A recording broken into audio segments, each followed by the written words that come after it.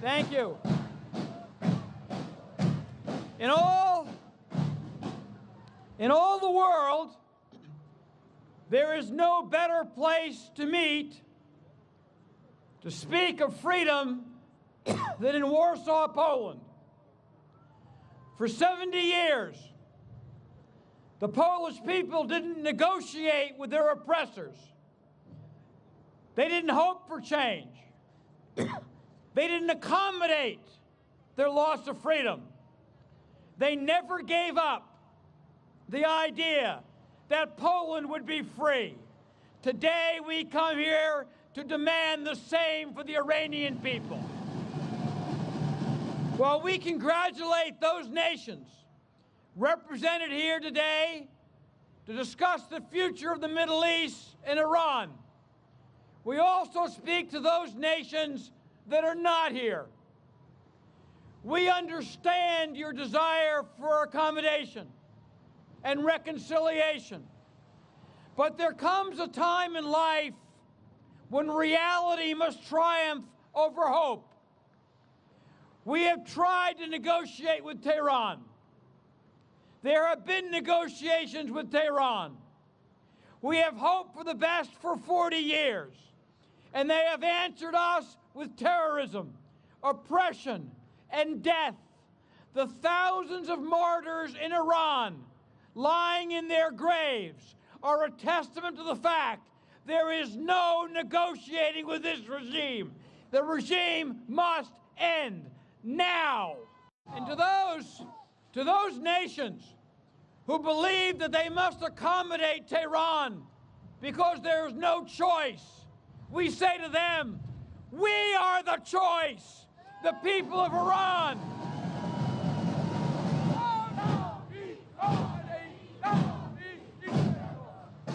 The thousands and thousands of Iranians who, at the risk of their lives, have taken to the streets of the cities and towns of Iran. They are your choice. The thousands and millions of people in diaspora across Europe and America, they are the choice. The NCRI is the choice. Mrs. Rajavi is the choice. There is a choice for new leadership in Iran.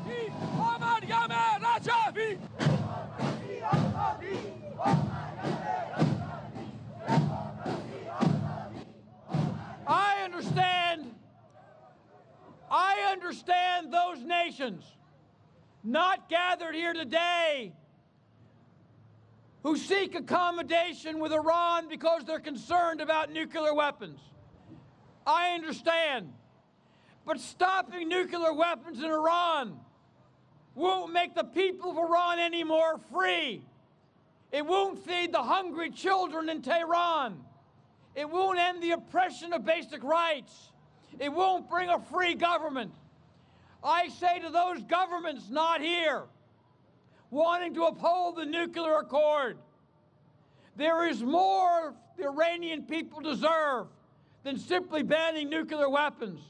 And a government which will kill thousands of its own people, send terrorists to France and Germany and Albania, a government that will imprison its own people murder its own opponents, cannot be trusted to keep its word on nuclear weapons or any other accord. Our murderous regime is not a trusted regime. So,